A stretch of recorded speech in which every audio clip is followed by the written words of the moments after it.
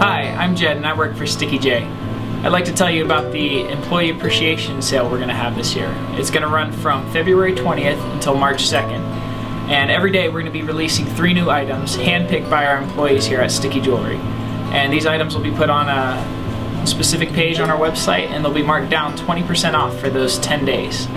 Um, we're going to be posting new items every day, so be sure to check our blog, like us on Facebook, or follow us on Twitter if you want to keep updated on all of the sales.